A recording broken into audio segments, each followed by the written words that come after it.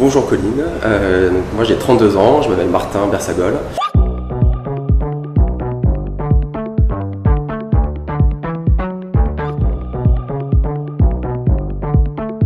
J'ai intégré le M Lyon en 2005, après deux ans de prépa. Euh, voilà, j'ai fait un cursus assez classique à l'EM de, de, 4 ans. Et puis après, j'ai euh, commencé ma carrière dans le marketing, notamment le marketing sportif. J'ai travaillé notamment euh, bah, voilà, pour l'équipe de France de football dans le cadre de son agence marketing. Après, je suis parti faire un tour du monde d'un an pour un peu voilà, voir autre chose, découvrir, découvrir plein de pays différents, etc. Et en passant ce, en faisant ce tour du monde, je suis passé par l'Australie. Et c'est là où a germé l'idée de potentiellement être installé en Australie.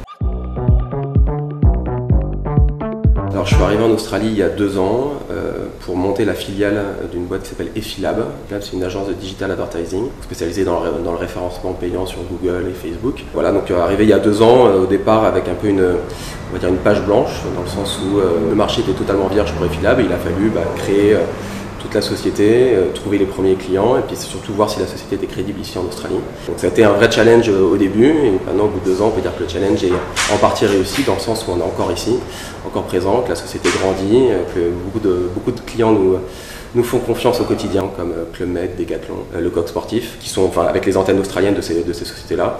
Et puis bien sûr, on se développe aussi auprès des sociétés des sociétés australiennes, on les accompagne dans leur, stratégie d'acquisition digitale.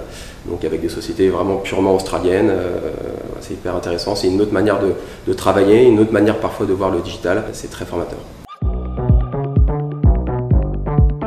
Alors quand je suis arrivé ici, euh, je suis arrivé euh, avec un stagiaire qui s'appelait Max, qui avait déjà fait son, sa, première, sa première période de stage chez Philab en France.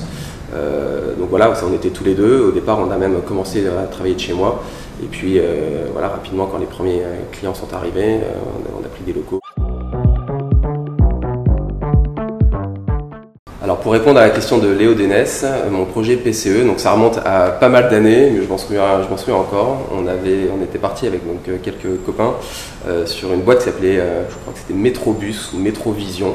Et l'idée c'était de, bah, maintenant ça a été fait depuis, hein, mais comme toutes les bonnes idées, forcément à un moment il y a bien quelqu'un qui les, implémente. ça a été de mettre des, écrans de télé dans les bus et dans les métros lyonnais.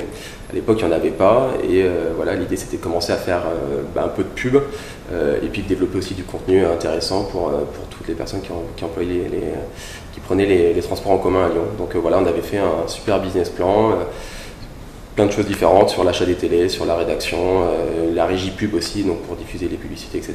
Et c'était allé assez loin, je crois qu'on avait on n'avait pas gagné, hein, mais on était peut-être dans les 10 meilleurs PCE. Donc euh, voilà, c'était très sympa. Et puis moi surtout, ça m'a permis aussi un peu de, commencer à connaître le monde de la publicité dans lequel je suis maintenant. Donc euh, c'était aussi assez formateur professionnellement.